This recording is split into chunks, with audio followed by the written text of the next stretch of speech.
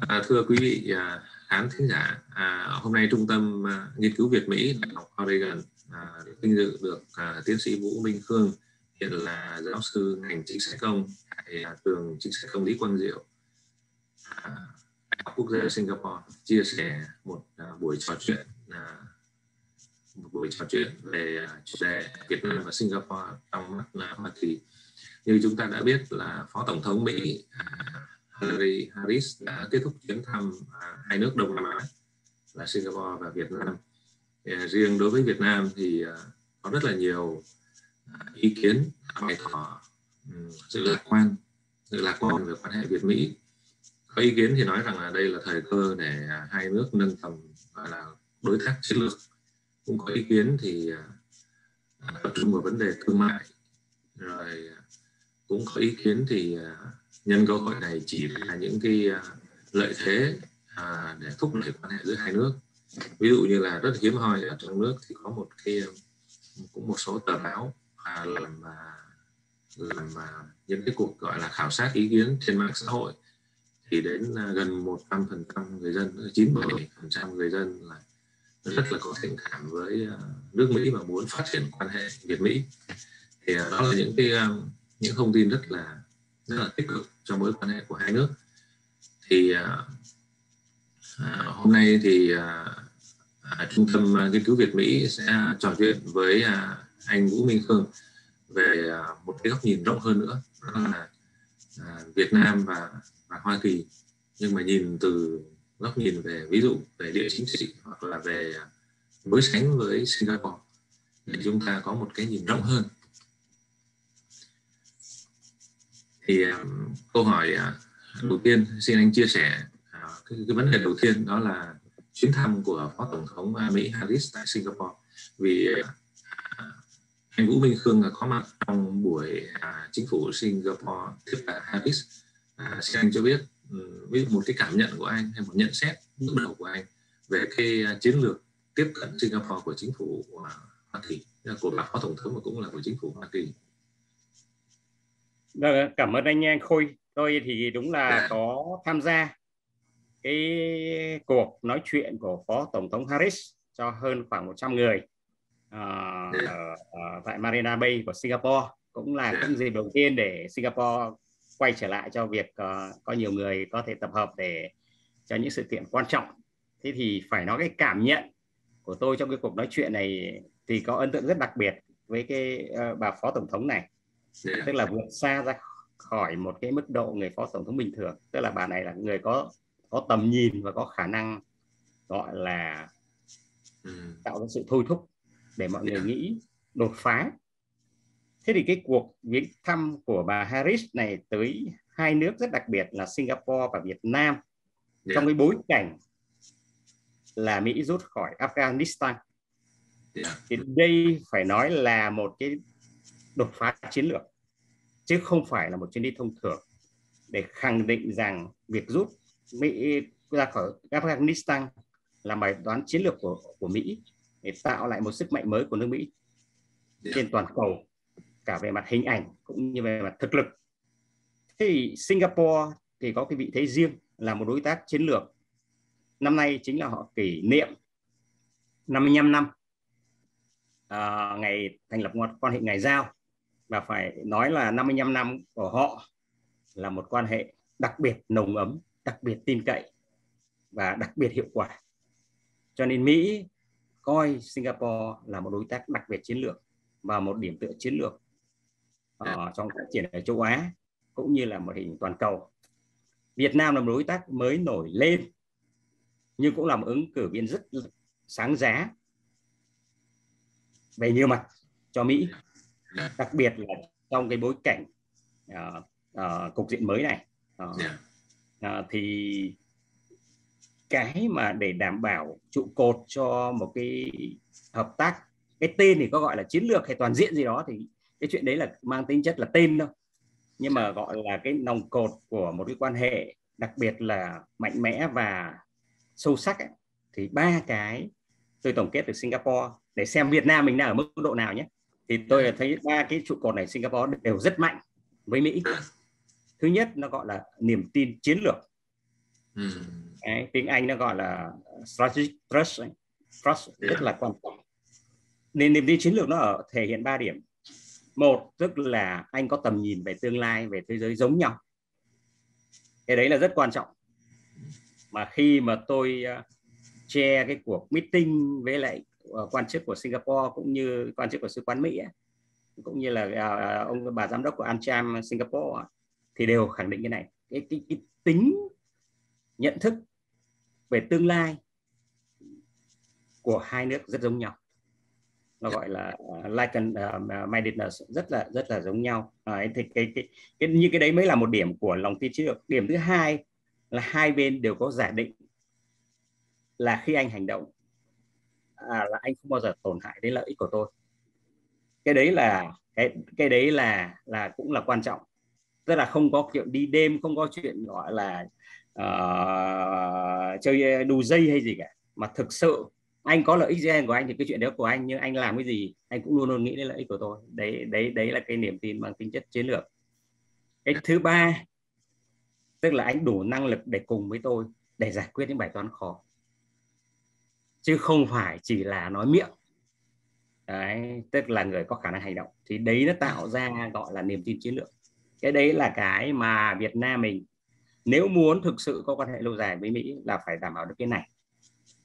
À, chứ chưa chưa chưa chưa cái này thì hiện giờ nhận thức về thế giới cũng như về tương lai về các cái uh, động thái xu thế của toàn cầu là mình đang có tiệm cận nhưng còn khoảng cách rất là lớn. Đấy, và năng lực thực thi à, trong giải quyết những bài toán lớn cũng còn hạn chế. Thì đây là cái niềm tin chiến lược là cái mà lòng cột đầu tiên yeah cái thứ hai thì Việt Nam lại có cái thế mạnh đặc biệt nó gọi là cộng hưởng synergy. Để dạ. tôi nói về ba cái trụ là đều bằng ba chữ S cả. Chữ, chữ đầu tiên là strategic trust uh, trust tức là cái lòng tin chiến lược. Thì cái đấy thì Việt Nam mới ở nếu mà Việt Nam Mỹ với Singapore 5 trên 5 thì Việt Nam hiện giờ mới là 3 trên 5 theo đánh giá của tôi thậm chí là hơi ba trừ. Tại còn bước tiến bước lùi trong vấn đề nhận thức nhất là về vấn đề ý thức hệ mình hơi bị nặng nề những vấn đề này. Nó cũng dạ. cản trở nhất, nhất, nhất ít nhiều. Thì cái đấy là cái cái các thế hệ lãnh đạo Việt Nam tương lai phải suy nghĩ. Uh, vì lợi ích của đất nước vì lợi ích của uh, của, của, của của của dân tộc mình. Đấy, phải rất chú ý. Cái điểm thứ hai synergy thì phải nói Việt Nam có giá trị vô song. Không ai có thể so sánh được cho nước Mỹ. Tại sao? Coi cái trụ cột thứ hai này với Việt Nam thì quá mạnh bởi Việt Nam là từ một nước hận thù với Mỹ ghi gớm không có kém gì so với lại Bắc Triều Tiên hay Iran hay Venezuela nhưng bây giờ lại trở thành một đất nước có yêu quý nước Mỹ thân thân thiết nước Mỹ và thấy cái giá trị của nước Mỹ. Và bản thân cái đó cũng sống trong con bản thân con người tôi. Tôi là sống uh, lớn lên trong chiến tranh cũng thể là giết đến Mỹ đến thằng cuối cùng. Thế nhưng mới rõ ràng mình bây giờ có một tình cảm yêu quý người Mỹ rất là đặc biệt. Thực sự là thế nhiều khi rơi cả nước mắt ra suy nghĩ lại những cái mình mình mình mình mình nhận thức không đúng không không hết được do hoàn toàn do do, do, do nhận thức chứ không phải là là thì thì Việt Nam chứng minh cho thế giới rằng là chúng ta có thể thù hận ở trong quá khứ nhưng hoàn toàn có thể xây dựng được một tương lai tốt đẹp. Cho nước Mỹ thấy cái Việt Nam là một cái tấm gương rất là dung cảm để cho họ suy nghĩ lại việc rút ra khỏi Afghanistan hay bất cứ đâu để rồi sẽ xây dựng lại một cái thế giới mới mà dựa trên niềm tin dựa trên cái sự tôn trọng lẫn nhau. Dạ. Đấy, cho nên là mình phải chuẩn bị cho cái tinh thần uh, rất thực tế mới của nước Mỹ trong thời thời thời thời gian tới. Nước Mỹ là sẽ nước cũng sẽ thay đổi rất nhiều cũng sẽ có cải cách về mặt tư duy chứ không phải chỉ là theo kiểu cũ nữa. Cho nên là với cái bà Harris thì tôi thấy lại có đặc thù được cái vấn đề đó. À, cho nên là là là là là cái người tương đối gọi là có nhận thức dài và và toàn diện đấy tại bà cũng là người dân tộc mà, mà ừ, thiểu số đi lên mà cho nên cứ hiểu được những suy nghĩ của các người khác. Cái điểm thứ ba chữ S thứ ba là symbiotic uh, partnership tức là mang tính chất tương sinh quan hệ nó ở vấn đề vi mô. Tức là uh, người với người tổ chức với tổ chức nó cấu thành với nhau nó gắn bó nó tạo ra một cái nền tảng hữu cơ cho cái quan hệ chứ không phải chỉ là dựa vào lòng tin chung chung lớn hay là sức cộng hưởng tiềm tàng mà đây thực sự người với người có sự gắn kết với nhau. Giống như là anh tôi đang ở Oregon chẳng hạn hay nói với tôi ở đây chẳng hạn chúng ta đều có những cái tình cảm rất đặc biệt với nước Mỹ rồi. Và rất nhiều người bạn Mỹ cũng rất có rất nhiều đặc, tình cảm với Việt Nam. Tôi vẫn nhớ thời kỳ uh, ông Thomas Valili của Đại học Harvard ông rất gắn bó với Việt Nam. Mà bất kể người Việt Nam nào khi nhớ đến ông ấy, đều có cái sự quý trọng rất là đặc biệt đó thì, thì đấy, đấy cái đó cũng là một cái tài sản vô giá mà Việt Nam có. Trước đây những thượng nghị sĩ McCain hay John Kerry thì những người đó là đã dần dần sẽ không còn nữa nhưng do họ để lại những di sản rất lớn về tình cảm của người Mỹ Việt Nam và à, cả Việt Nam với người, người Mỹ. Thì rất kỳ lạ là rất nhiều cựu chiến binh Việt Nam đã từng đánh Mỹ. Gọi là uh, can trường dũng cảm nhưng bây giờ đều muốn có sự gắn bó với nước Mỹ à, thì đây là những cái mang tính chất tương sinh rất là ờ, quan hệ hữu cơ rất là đặc biệt mà cái đấy Việt Nam cũng rất mạnh. Nếu tôi cho điểm tôi cũng cho điểm 5 trên 5 synergy phải nói là 6 trên 5 nhưng mà cái yếu của mình bây giờ là cái niềm tin chiến lược là còn hai bên còn lấn cấn. Mà lấn cấn nhiều là bên ta chứ không phải bên bên bạn. Đấy, thì cái đấy là là suy nghĩ. Đấy, và có nhiều người sống bằng cái việc là gieo rắc những cái hoang mang diễn biến hòa bình này khác ấy, là rất là tội cho đất nước mình. Thực sự là thế. Nước Mỹ họ không có những cái, cái tham vọng kiểu đấy đâu. Hay là những cái nhận thức như là bà ấy hoãn lại chuyến bay để uh, trừng phạt mình uh, gặp đại sứ Trung Quốc là những cái đấy là cái suy nghĩ vẫn còn cổ điển. Ở Việt Nam nó vẫn bị cái não trạng của một dân tộc gọi là nhiệt tiểu và nhiều khi không nhận thức hết được cái tầm của của chính khách Mỹ cũng như của nước Mỹ nó lớn hơn. Đấy là tôi tôi suy nghĩ như thế. Yeah em à, em rất là là quan tâm đến uh, cái vấn đề niềm tin chiến lược. Ừ. vì em nghĩ không phải ngẫu nhiên mà anh trình bày nó đầu tiên đúng không? Đúng rồi. Nó là đột phá nếu không có cái đó không gần được nhau. Đúng rồi, không có cái đó không gần được nhau. Và cái uh, cái sự gọi là đồng cảm giữa hai nước à, như anh nói ngày xưa từng là tự thù ừ. nhưng bây giờ cảm thấy rất là quý mến giá trị của nhau. Ừ. bây giờ thân thiết. Thân thiết. Ừ. như vậy mình thấy uh, dường như hai điều này có thể có một cái mâu thuẫn. Tức là một bên thì uh, niềm tin chiến lược thì uh, lại chưa được như anh nói là chưa được tới ba trừ anh cho điểm chưa tới ba trừ nữa.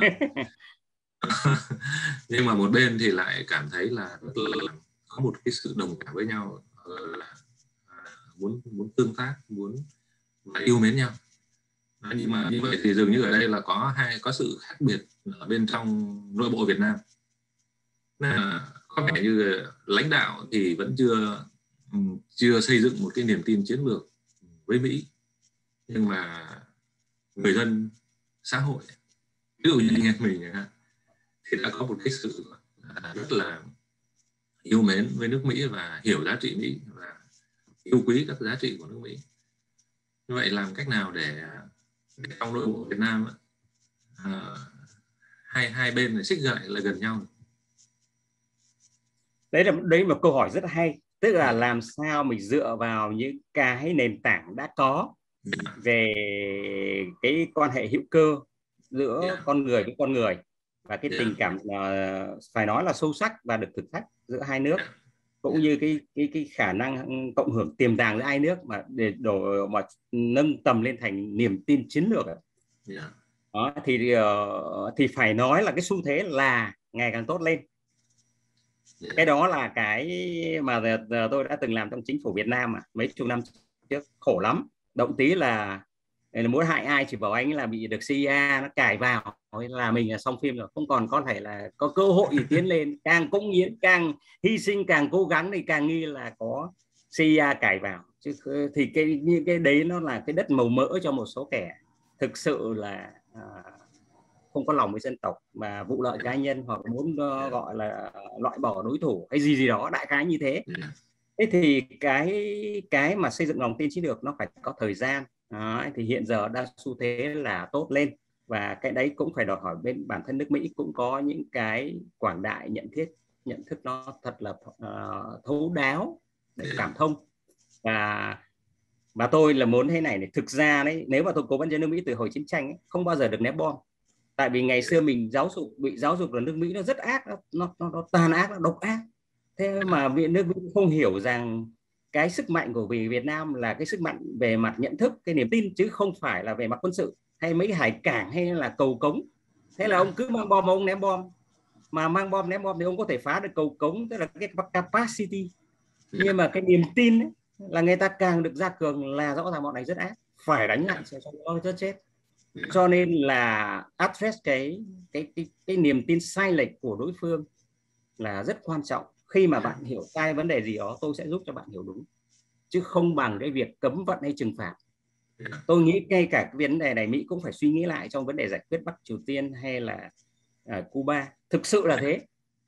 Các bạn chưa hiểu chúng tôi đưa các bạn việt nam sang dạy cho các bạn. Bây giờ online chơi luôn.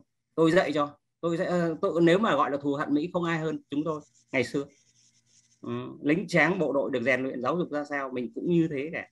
Nhưng tại sao phải nhận thức khác và hiểu được khác? Thế mà thời thế hệ mỗi thế mỗi mỗi dân tộc mất đi vài chục năm là là bao nhiêu người qua đời mà không được hưởng một cái gì thành quả của phát triển thì đấy là có tội. Thế thì chứ nếu mỹ đừng có cố bám vào những cái cấm vận hay là bom đạn. Cái đấy là cái last resort cái dùng đến cuối cùng không bao giờ cần thiết. Ví dụ à, anh nào nó khủng bố nó tàn ác các đấy thì tôi lại hoàn toàn đồng ý. Nhưng mà đối với người dân bình thường không bao giờ. Đó và cấm vận càng càng nên hạn chế. Và gửi thêm sách vở vào cho thêm học bổng vào. Và bây giờ giáo dục đào tạo online mà dùng chính những người như dân tộc Việt Nam sang Bắc Triều Tiên giảng dạy sang các nước khác giảng dạy không sao cả mà online được. Đó. Những cái gì bạn suy nghĩ chúng tôi đều có suy nghĩ qua hết rồi. Cho nên là đấy là những cái bài toán mà cần nhận thức lại. Thì tôi rất hy vọng vào cái ờ, thể chế mới này. Thực ra ông Trump tôi thấy cũng có những suy nghĩ rất đột phá. Tôi thì lại là người cảm tình với cả ông Trump nhưng bây giờ lại cảm tình rất nhiều với bà Harris và ông Biden. Thực sự mình thấy thấy cái gì đó họ có đột phá là tôi thích. Thế thôi. Chứ còn mình không uh, giống như Việt Nam không có bị phụ thuộc một cá nhân ai nào anh nào nhưng nếu có đột phá mở ra cái thời kỳ mới cho hòa bình thế giới và cho hợp tác và phát triển thì chắc chắn là luôn luôn ủng hộ. Thì cái này là cái phải hiểu là Việt Nam cũng đang đang ở trong quá trình nhận thức lại. Đấy. thế thì thực ra nếu một người về hưu ấy, thì nói chung sẽ bớt đi rất nhiều những cái nặng nề. Thì sẽ có cái niềm tin chiến lược có thể tăng lên 4 ngày. Thế nhưng vì trong hệ thống anh phải như thế thì anh mới lên được. Nó khổ như thế nó nó nó, nó vô hình như thế cho nên là là là là là nó nó nó nó, nó gần như là kiểu uh, uh, khi mình uh, muốn tự mình đánh giá tốt thì bao giờ cũng phải nói cái lập trường tư tưởng vững vàng nhưng mà vững vàng thế nào nó không rõ nhưng đại khái cái kiểu như thế. Thế thì ngày xưa thì muốn vững vàng là phải là chống mỹ hay là cẩn thận với mỹ đại khái kiểu như thế. Thì nói như thế thì nhiều khi được điểm hơn mà được điểm hơn thì lên cao hơn. Dạng như thế nó là incentive thôi chứ chưa hẳn là thực sự cái niềm tin thực sự. Đấy.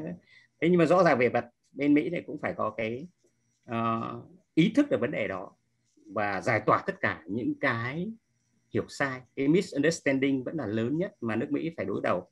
Nhưng nước Mỹ hay giải quyết misunderstanding bằng những vũ lực đấy là cái sai lầm lớn nhất của nước Mỹ trong trong lịch sử hiện đại.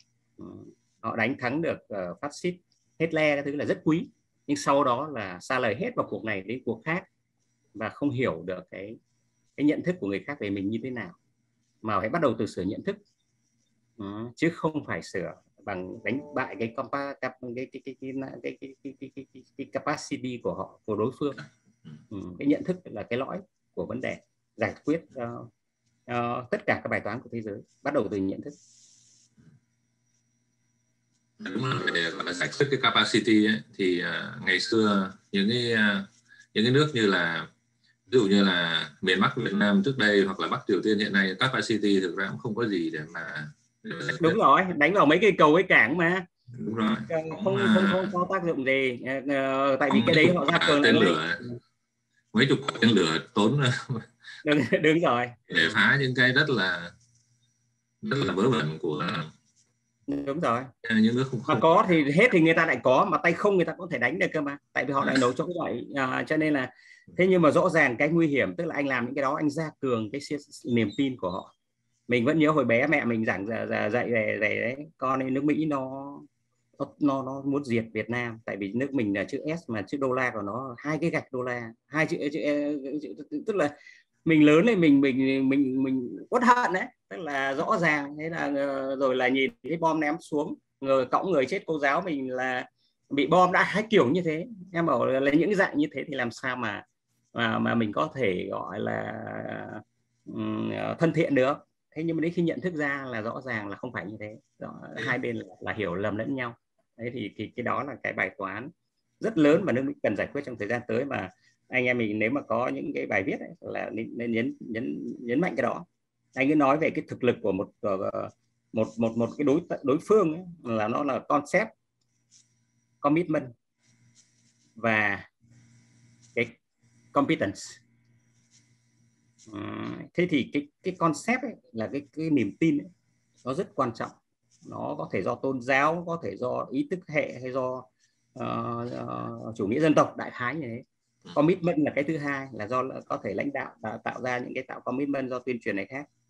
Thế còn cái competence sẽ cái, cái capacity ấy là cái thứ ba thì thực ra nó có ờ, nhưng mà cái cái, cái nó có thể biến độ đổi rất là nhanh chóng khi mà anh được uh, thế giới trợ giúp hay bản thân anh quy tụ được uh, cái lòng tin ấy, mọi người ào ào tiến lên. Đấy, và họ không bằng uh, chiến tranh quy, quy mô thì họ cũng bằng chiến tranh du kích họ vẫn có lực lượng. Đấy, cho nên dạng Taliban các thứ cho phải chú ý vào cái conceptual thinking vô cùng quan trọng.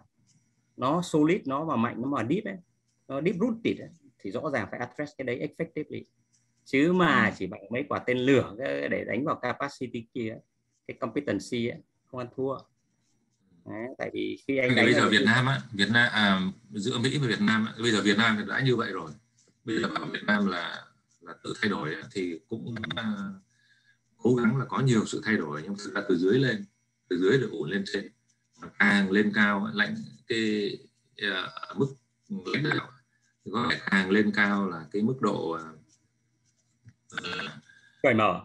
uh, cởi mở thì nó như là đối với Mỹ nhưng mà càng xuống thấp thì uh, cái sự uh, cởi mở và yêu mến cái giá trị Mỹ thì nó càng rộng hơn.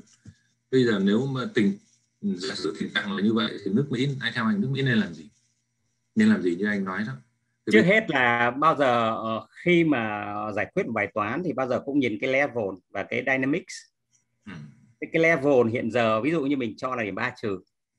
Thế nhưng mà cái dynamics thì đang tiến tốt lên còn nếu mà 10 năm trước thì chỉ là hai trừ hay hai cộng mà thì nó nó đang tiến lên. Đó. và tiến lên thì không chỉ là do cái tư duy của thế hệ lãnh đạo trẻ hơn nó tốt hơn nhưng thứ hai là cái survival issue tức là vấn đề súng còn. Việt Nam mà muốn thực sự uh, trở thành một quốc gia phát triển thì cái điều này nhé thì thấm đậm trong tất cả tư duy của lãnh đạo cao lên thấp đều nghĩ rằng phải quan hệ đặc biệt với Mỹ mới có trở thành một nước phồn vinh. Thì mang mang tính chất rất là cụ thể đấy. Thế còn tin là Mỹ nó có ủng hộ mình hay không ấy, thì là, là cẩn thận tại vì vẫn Mỹ là họ uh, đây là đây, cái chuyện này là cái chuyện dị ứng thôi. Tại vì họ mình là một chế độ độc đảng đấy, không có đa nguyên dân chủ gì. Thế Mỹ rõ ràng là cái chuyện đấy cho nên tự uh, Ờ, chứ cái ví dụ Singapore chẳng hạn họ vẫn có bầu cử tự do vẫn này khác cho nên là không có một trở ngại gì. Chứ còn mình thì mình rõ ràng là hiểu rằng cái đấy là tabu với nước Mỹ rồi cho nên là bây giờ nhân vẫn nghĩ là quan hệ là măn đầy chiến thuật. Thế thì nước Mỹ thì để để thực sự là những đối tác tốt ấy, thì cái chuyện của dân tộc các bạn là chuyện của các bạn. Chúng tôi không để tâm đến. Nhưng chúng tôi chỉ muốn là các bạn tôn trọng quyền con người. Đấy, và cởi mở tự do và kinh tế nó sẽ quyết định ý thức đấy quy chuyện đấy các bạn. Chứ còn thì họ một đảng hai ba đảng ờ, tại vì những cái cái, cái đa dân chủ ở một số nước tôi đi quan sát mà lại còn tham nhũng tiêu cực hơn nữa tại không ai chịu trách nhiệm. Cứ đảng đảng này vào thì lại đảng chia ra theo kiểu vào được là trục lợi ngay. Chứ như đảng ờ, bên Việt Nam này á, thực ra là vẫn có ý thức trách nhiệm với dân tộc khá cao. Nếu mà tôi trong hệ thống tôi hiểu những cái đó cho nên còn tất nhiên là do cái cái cái cái cái, cái, cái, cái động thái chính trị là nó là như thế nó là hình thành như thế và không thể một lúc mà thay đổi được. Nhưng rõ ràng là y gọi là ý thức với tương lai của dân tộc và ý thức với người dân à, thì là khá cao so với nhiều cái chính đảng khác. Chính đảng khác là cầm được quyền cái là chia chắc ghế và biết là mình chưa chắc đã chắc. Còn đây thì ờ, chính đảng cộng sản Việt Nam là biết rằng là thực sự là cái sự sống còn của đảng hay không là phải lo cho dân phải lo cho sự phồn vinh của đất nước. Đấy chính là chính danh của của đảng cộng sản việt nam. Mà lại trong cái bối cảnh đảng cộng sản trung quốc họ làm được những việc rất là mạnh mẽ để trung quốc tiến lên thành cường quốc mà việt nam không làm được. Đó, thì tôi hay nói đùa việt nam hoàn toàn có lựa chọn. À, bây giờ mỹ chắc chắn là trung quốc sẽ mạnh như mỹ rồi trong vòng 30 năm tới. Thế việt nam sẽ giống mexico hay giống canada là cái lựa chọn. Tại cùng là láng giềng mà thì chỉ có hai lựa chọn một ông Mexico để họ xây tường xây tiếc họ ngăn lại trong khổ hạnh. Hay là trở thành Canada đẳng cấp ngang ngửa không kém gì nhau. Thế thì mình rõ ràng phải vượt lên phải như Canada à, phải như Hàn Quốc như Nhật Bản. Thì cái chuyện đó là là trong đảng cộng sản Việt Nam đã xác định được rồi. Bây giờ chỉ có làm như thế nào thôi. Khổ cái bây giờ nó đúng bệnh covid sau covid thì sẽ thấy Việt Nam sẽ tiến lên rất mạnh. Rất những có những bước rất đột phá và trong đó quan hệ với Mỹ sẽ tăng lên được ít nhất là 3 điểm rưỡi đến 4 điểm. Yeah. trong thời gian tới đấy tự thân đấy chứ chưa cần phải nước Mỹ làm gì nhiều. Cái cái buổi nói chuyện tiếp theo ấy, lát mình sẽ nói về về tác động của, của anh tại vì nhiều người cũng tin nói rằng là nếu như mà Việt Nam mà không chống được không thoát khỏi được đợt thứ tư này trong quý tư thì FDI có thể rút. Đầu tư nước ngoài rút đầu tư nước ngoài rút thì à, ví dụ vị thế địa chính trị nó cũng sẽ ảnh hưởng. Mà không không không cẩn thận là kéo dài cho đến hết cả năm sau ví dụ vậy. À, à, thì nhưng cái đó là chuyện sau. Bây giờ em muốn quay lại hỏi một chuyện là um, nãy giờ anh đã nói về cái cách mà nước Mỹ họ nhìn Singapore và Việt Nam. Tức là mỗi một bên à, anh nghĩ anh nhìn Singapore một cách và nhìn Việt Nam một cách. Và đối với riêng đối với Việt Nam ấy, thì uh, Mỹ cũng đã họ, họ đã hiểu. Họ hiểu những cái uh, vấn đề nội bộ. Và rất là cố gắng rất là cố gắng để muốn cho làm cho Việt Nam hiểu rằng là không không tôi không có ý định là là tôi phải là đổ anh. À, như là điều anh lo lắng. Nhưng mà tôi muốn là anh ví dụ là đi theo các cái giá trị giá trị nó có tính chất là phổ quát ví dụ anh tôn trọng nhân quyền, rồi anh tôn trọng những tiếng nói đối lập, hay là tôn trọng những lời chỉ trích, thì tất cả những điều đấy là nó cũng chẳng ảnh hưởng gì đến quyền lực. Thì à, nhưng mà nó là những cái giá trị giá trị và ít nhất đến Singapore chia sẻ với với với nước Mỹ, hoặc là như à, Đài Loan hay là Nhật Bản, cũng đều có một cái khoảng thời gian rất là dài, chỉ có, mặc dù là nhiều đảng nhưng mà cũng có đúng một anh, cũng đúng một đảng là họ à, cầm quyền liên tục vòng nhiều chục năm. Thì uh, uh, theo anh ấy, thì uh, như anh đã nhấn mạnh là rõ ràng anh đã nhấn mạnh là nước Mỹ cần phải chú tâm vào vấn đề thay đổi tinh thần. Và để thay đổi tinh thần thì đương nhiên là sẽ nói đến giáo dục. Đầu tư cho giáo dục đầu tư cho các cái lĩnh vực khác. Theo anh thì để mà đầu tư cho tăng cường hợp tác giáo dục đối với Việt Nam thì nước Mỹ nên nên có những cái bước đi nào?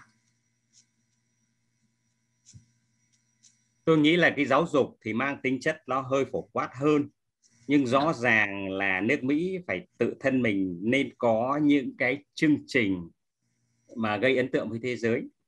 Ví dụ nước Mỹ mà mạnh lên bằng việc gọi như là chinh phục được sao hỏa chinh phục được mặt trăng hay là có những chương trình mà làm thế giới phải kinh ngạc Đấy, về phát triển lại hạ tầng cơ sở và hệ thống giáo dục ở nước Mỹ hay là uh, tất cả cái hệ thống nghiên cứu của nước Mỹ nó lành mạnh nó hay. Cái giáo dục hay nhất là bằng chính cái hành động của mình chứ không phải chỉ là mở cơ sở giáo dục ABCD ở, ở nước cụ thể đâu. Tại người Việt Nam bây giờ quan sát rất là closely rất là chặt chẽ những gì đang diễn biến ở nước Mỹ thì phải một nước Mỹ hùng mạnh uh, khỏe khoắn và forward looking nhìn về tương lai đột phá.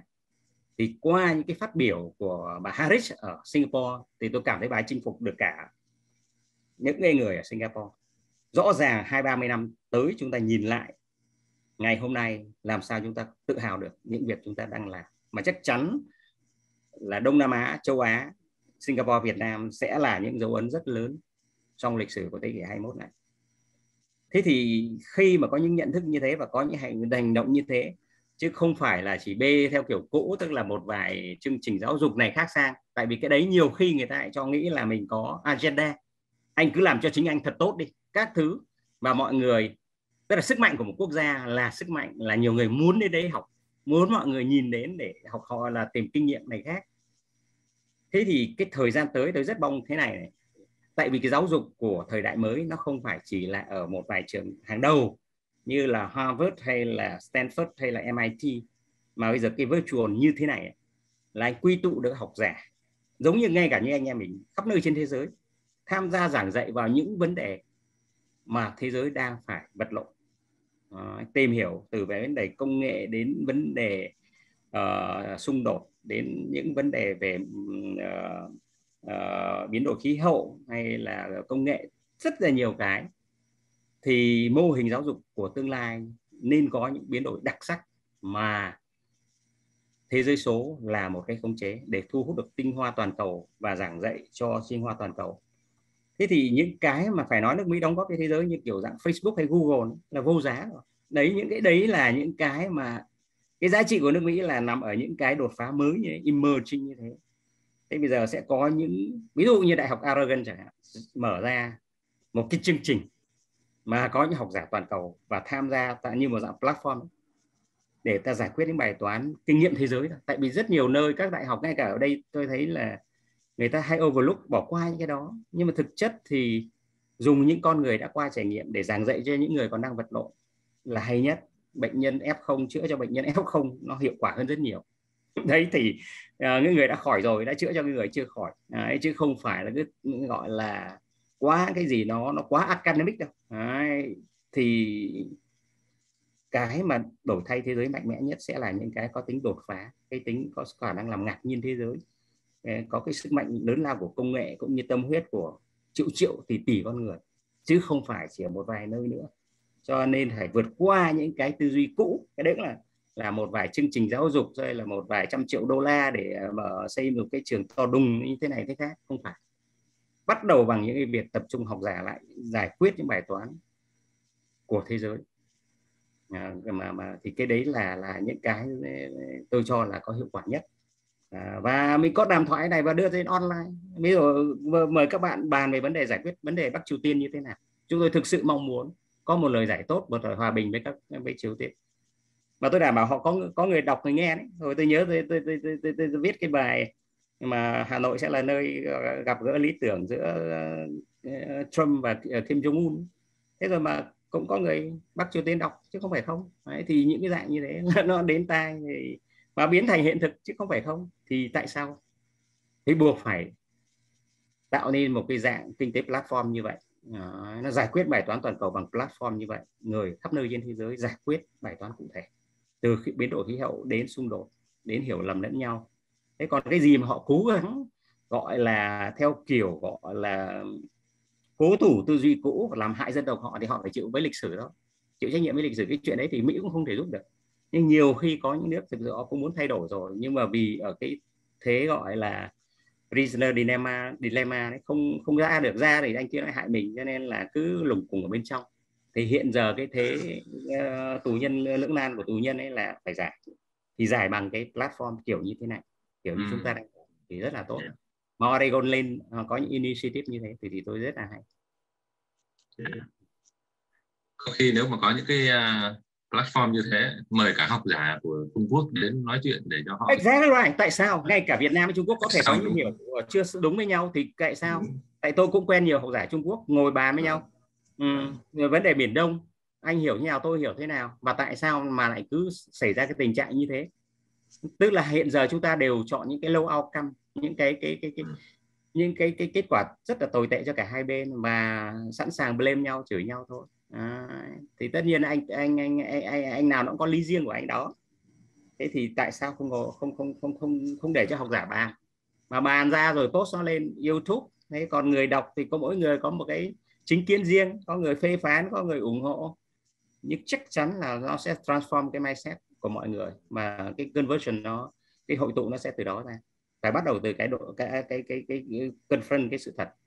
Cái sự thật nó như thế nào mình phải uh, nhìn thẳng nó ra và có con mắt nó nó nó nó nó nó nó, nó có cái tầm nhìn về tương lai và cũng rất là sâu sắc về mặt uh, uh, trí tuệ và và ý thức trách nhiệm với với lại thế giới. Thì thì lời giải nó có đó mà. Thì cái này của hơn các thời kỳ trước là mọi cái là không có thể chia sẻ được. Còn hiện giờ những cái này có thể chia sẻ đến hàng triệu hàng trăm triệu người ngay. Thì tại sao không? Bây giờ mình nói về cái cái lý tưởng. Điều nên là ừ. Ừ. Giờ em muốn uh, hỏi câu hỏi cuối cùng. Ừ. là mình quay về với thực tiễn. Nó là theo anh ấy, thì với cái tình trạng của Việt Nam như bây giờ như nãy giờ anh phân tích xong rồi điều mong muốn của nước Mỹ. Nước Mỹ rất là muốn xích lại gần với Việt Nam rất là quan tâm tới Việt Nam. À, quan tâm tới Đông Nam Á nói chung. Và ấy như là hai nước Nam và Singapore đó là cái nước mà được nêu tên ở trong cái bản hướng dẫn chiến lược an ninh quốc tế tạm thời tháng ba.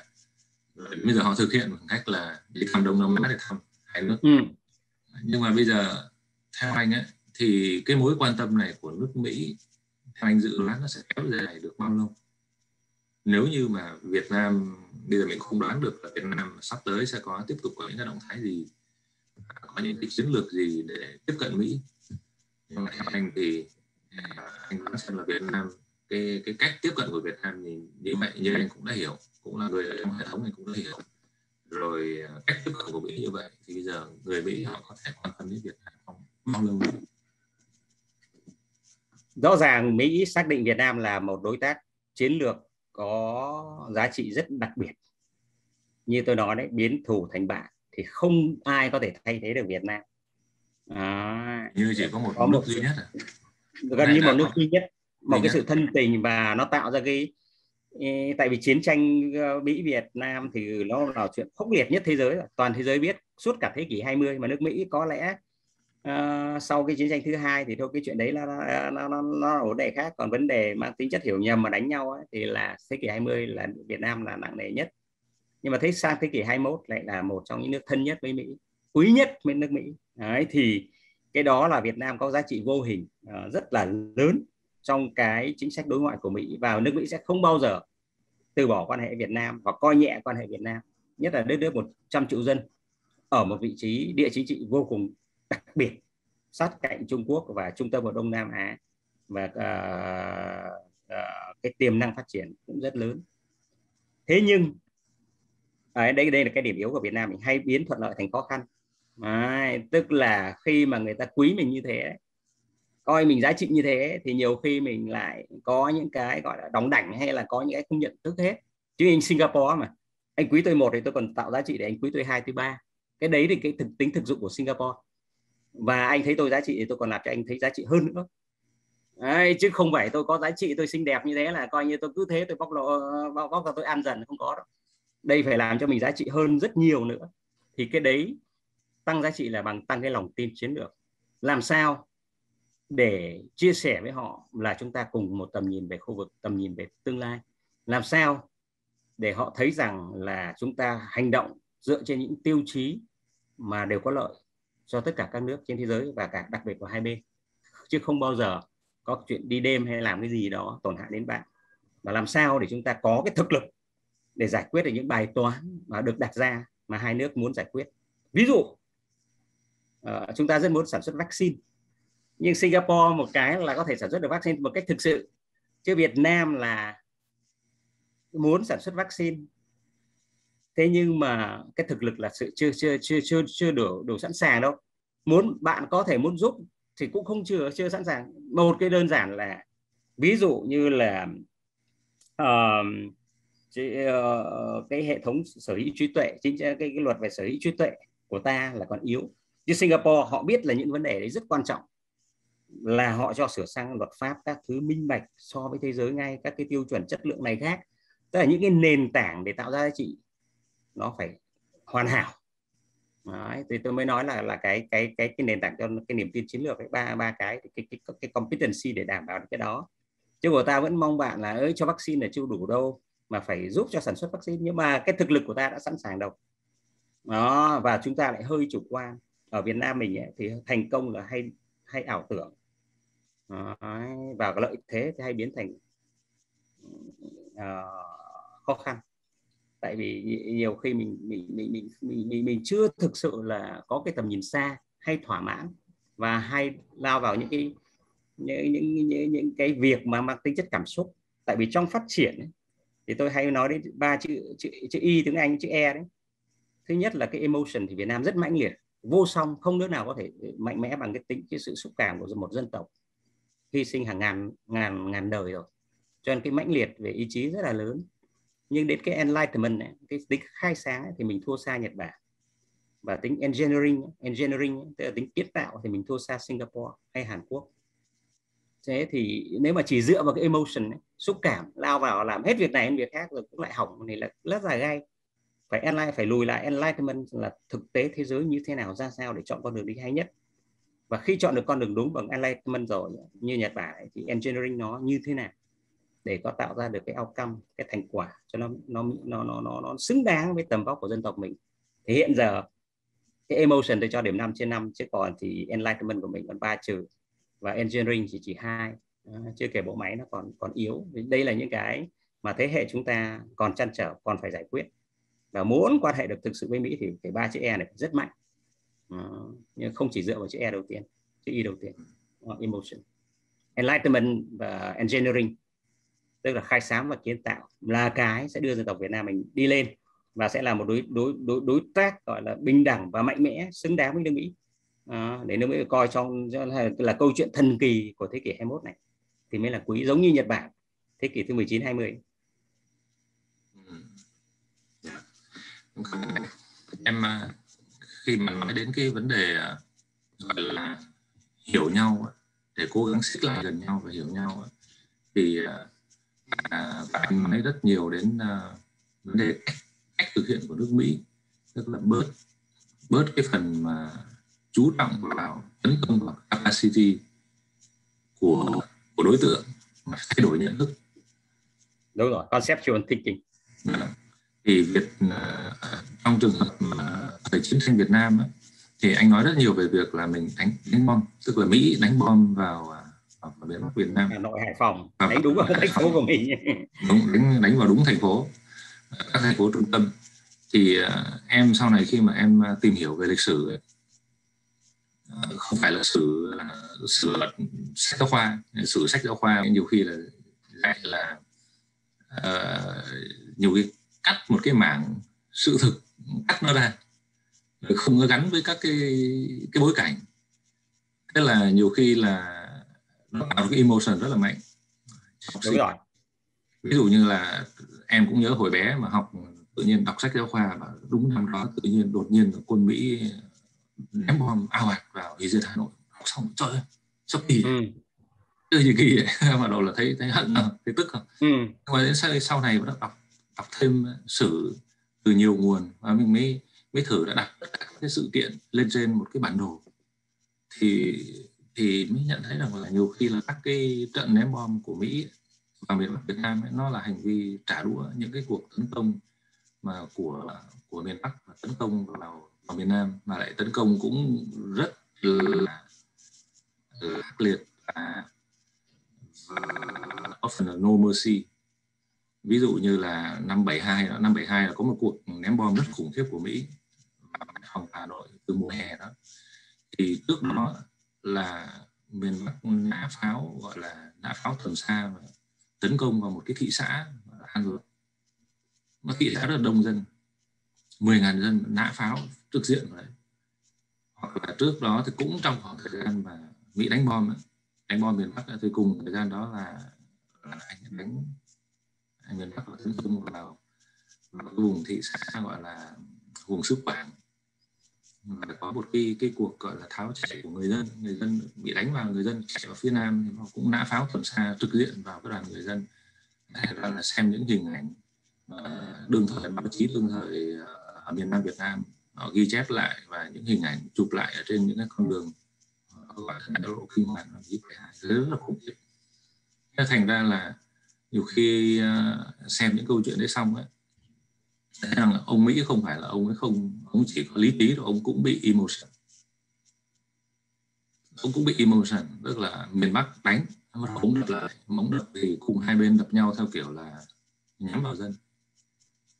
Thì đó cũng là những cái mà mà em hy vọng là sau này ấy, khi mà về lịch sử với sách giáo khoa lịch sử bắt đầu khi viết và như viết về những cái cuộc ném bom của miền Bắc và của Mỹ vào miền Bắc Việt Nam ấy, nó à, trong một cái à, cái bản đồ lớn để biết rằng là à, trong lẽ phải là có mình có ta là tại anh tại à tại cả đôi bên chứ không phải mình. Lúc nào chỉ là nhân. Thì thì chỉ khi như thế thì bắt đầu cái emotion mình hiểu khi mà hiểu ra được một cái à, cái bức tranh đúng mà nó toàn diện hơn thì emotion mới giảm. Thực ra như anh nói à, chỉ gọi là Việt Nam có một cái Việt Nam đã thay đổi nhận thức về về nước Mỹ. Thực ra em em em cảm thấy là chỉ một phần tức là tức là một phần tức là có một bộ phận người dân thôi. Ví dụ như là anh đi ra ngoài. Anh đi ra ngoài anh nghiên cứu về nước Mỹ. Anh học ở Mỹ học ở trung tâm gọi là đỉnh giáo dục của Mỹ. Tự nhiên nó khác. Nhưng bây giờ khi mà xem ở trên um, mạng xã hội hoặc là uh, xem về những cái cách mà Việt Nam cũng đang uh, giáo dục về nước Mỹ hoặc là về lịch sử trên cái kênh chính thống ấy, không phải là không có ảnh hưởng. Ảnh hưởng cũng khá lớn. Ảnh hưởng tiêu cực về mặt emotion. Thì uh, em cũng hy vọng là trong tương lai thì Việt Nam có thể sửa được cả những vấn đề như thế này. Đó là cái cách mà nhìn nhận về về lịch sử. Lịch sử nó không phải là một cái à, không phải là một công cụ. Phải coi lịch sử như là một à, một tri thức để uh, nhận diện được thực tại và khi mà hiểu được được quá khứ hiểu vì sao chúng ta đến đây này lúc đó chúng ta mới hiểu được tại sao chúng ta có những cái emotion như thế. Hay rồi. Thì có nghĩ như vậy không? Đúng đấy từ thực ra lịch sử đi vào những trang đen tối là vì quá nặng nề về cái xúc cảm cái emotion. Uh, mà không có cái khai sáng và cái kiến tạo. Ngay cả nước Mỹ ném bom nguyên tử vào Nhật Bản cũng là vì cái emotion của trận chân châu cảng tức là những cái mang tính chất trả thù nhau để có một cái gì đó để, để thanh thoát nhưng mà thực chất thì lại đem lại cái hệ hậu quả nó nặng nề. Thế nhưng may mà dân tộc Nhật Bản họ vĩ đại họ lại vươn được lên. Chứ nếu mà lại trở thành hận thù thì lại hận thù mãi. Đấy thì nó có cái hay của những người lãnh đạo cũng như cái văn hóa của dân tộc. Thì vì tôi bản thân tôi, tôi, tôi, tôi thấy là Việt Nam và Nhật Bản có những cái giống nhau. Tức là biến những cái hận thù trong quá khứ không để lại và vượt vào tương lai còn nước Mỹ thì tất nhiên là một dân tộc đặc biệt rồi, rất hay. Họ luôn luôn nhìn về phía trước, họ forward looking còn đây mình muốn nói như dân tộc mà có hàng nghìn năm lịch sử có cái cái hận là nó nó cứ để trong lòng mãi cơ. Trên nước Mỹ thì nó có 200 năm 250 năm cho nên họ forward looking là chuyện tương đối bình thường được. Như với như Nhật Bản hay Việt Nam không để bụng mà ờ, gắn kết lại được với nhau. Thì rõ ràng đây là những cái bài học mà nên trở thành những cái câu chuyện hay của thế giới. Ngay cả cái việc đấy Việt Nam đánh ờ, vào ờ, ờ, một số cái tổng tấn công đấy rồi họ trả đũa lại.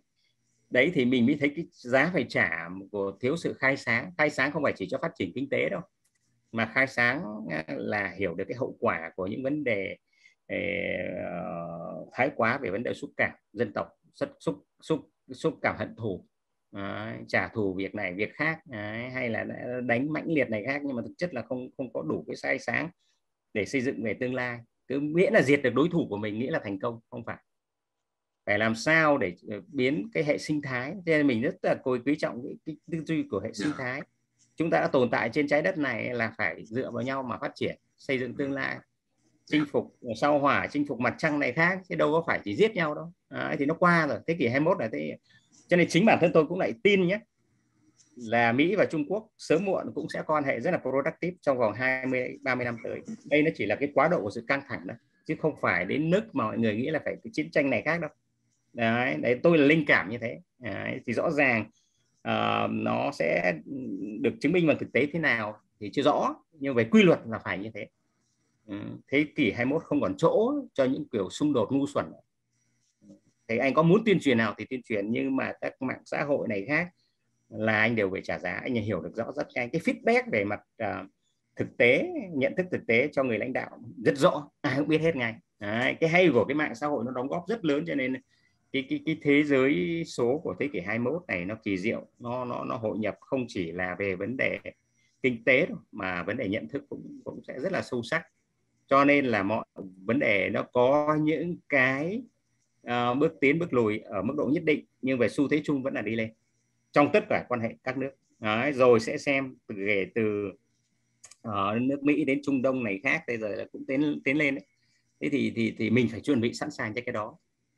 Thì cái Việt Nam bây giờ có trở thành những người gọi đi tiên phong trong cái nỗ lực này này hay không? Thì là đấy là một cái bài toán đặt ra cho người lãnh đạo. Đấy, mình là phải biểu tượng một cái đại diện cho cái thời đại mới coi trọng cái sự gọi là hợp tác hòa bình và à, phát triển. Đấy, đem lại những cái nhận thức mới cho tất cả các nước còn chưa nhận thức đầy đủ. Thế thì rõ ràng nước Mỹ nhìn thấy những giá trị rất lớn của Việt Nam trong việc giáo dục cho Bắc Triều Tiên hay là Cuba Đấy, kể cả Venezuela cũng thế. À, và những người như anh em mình đã sống trải nghiệm thực tế ở Việt Nam. Mà cái số lượng như mà như, như anh em mình là rất đông chứ không phải là là là là ít đâu. Đấy, và nó ngày càng càng càng càng càng đông đảo thêm. Cái nước Mỹ có cái hay là họ hợp với quy luật tự nhiên. Cho nên họ có lựa tiến hay lùi đi xuống hay hay là thất bại họ vẫn là đi đến tương lai. Bởi vì họ tuân thủ quy luật uh, của trời đất. Họ là làm đúng tự nhiên. Còn uh, các dân tộc mà có thể thành công uh, ít nhiều này khác nhưng mà cưỡng lại quy luật tự nhiên thì cũng vẫn còn có tiềm tàng những cái khủng hoảng hệ thống trong thời gian nhất, chứ nước Mỹ thì uh, khủng hoảng uh, thời uh, mấy năm trước rồi lại tiến đến lại một củng cố trở lại. Cho nên cái cái tính bền vững cái tính resilient của họ đấy rất là cao. Bởi vì họ thuận theo tự nhiên đó chứ không phải cái gì gây gớm mà những, những người mà sáng lập ra nước Mỹ họ có cái thông minh đấy có cái giỏi của nó. Không dựa vào một cái tôn giáo hay cái giáo điều nào mà hoàn toàn tuân thủ những cái nguyện vọng tự nhiên của người dân. Cho nên là họ sẽ đi được rất xa và có cái sức chống chịu với mọi cái bão táp của, của cuộc đời. Đấy, thì, thì cái đó là cái mà Việt Nam nên hết sức coi trọng. Và tôi tin là Việt Nam sẽ sẽ nắm bắt cơ hội này đấy. Để có những bước tiến mạnh mẽ trong thời gian tới. Thế còn thì đại dịch covid thì nó xảy ra và có thể có sự nghiêm trọng nhưng rồi nó cũng đi thôi. Giống như là chúng ta nhìn lại những nước ý hay là ấn độ trong thời gian rồi nó cũng lên nó xuống. Bởi vì cái này nó là một cái quy luật tự nhiên. Anh chống dịch giỏi hay không giỏi thì cái đấy cũng là khái niệm tương đối thôi. Chứ như anh thụy điển ấy, là nó chơi thẳng luôn để chấp nhận như thế. Tại vì cái không phải mục tiêu kép hay mục tiêu ờ, đơn gì mà cái quan trọng nhất là tiến hóa để sẵn sàng với tương lai. Chứ còn nếu mà đóng xong rồi bảo chưa có cây nào nhưng mà cứ nơm nớp sợ mở ra lại bị lại đóng lại thì cũng không không phải là giỏi. Theo tôi là mục tiêu phải là trên uh, cái kiềng ba chân. Vừa là sinh mạng vừa là sinh kế nhưng mà là sự sẵn sàng cho tương lai không có sợ hãi chứ giờ mà giả sử như New Zealand chẳng hạn à, đến có vài cây lại đóng trở lại chứ Singapore là xong rồi. Mình đóng này để có thời gian tức là buy time để mà tiêm vaccine thì cái đấy hoàn hoàn toàn đồng ý. Như tiêm vaccine đầy đủ rồi nhưng mà lại cứ đóng để cho nó đỡ uh, nhiều bị viêm nhiễm mà thì không không giải quyết. Singapore là hôm nay là 80% được tiêm và bắt đầu mở cửa sẵn sàng chiến đấu uh, để đi tương lai. Thế còn anh nào muốn khỏe mạnh thì ngoài vaccine thì chịu khó tập tành cho tốt ăn uống cho tốt thể dục cho tốt suy nghĩ cho tích cực. Thế thôi. Đây là những cái để thích ứng cho nó đòi hỏi sự thích ứng đấy. Còn anh nào mà bia rượu chè rồi là đáy đường rồi bụng ờ, to các thứ thì phải trả giá thôi. Những chuyện đó là quy luật nó đào thải. Anh phải anh phải chấp nhận. Đấy, thì thì thì thì nó làm cho xã hội nó nó nó nó nó, nó tiến hóa lên một cái cái cái cái, cái, cái thời kỳ mới. Đấy, buộc mọi người phải giữ sức khỏe. Cá nhân rất tốt và ý thức cộng đồng cũng cao. Đấy, để để bước sang một cái kỷ nguyên mới gọi là kỷ nguyên hậu covid sẽ tốt đẹp hơn rất nhiều Vâng, em xin à, xin cảm ơn anh. Xin cảm ơn anh đã dành cho Trung tâm Nghiên cứu Việt Mỹ một uh, buổi trò chuyện rất là thú vị và chúc anh uh, sức khỏe. Rồi, cảm ơn Hải Khôi rất nhiều.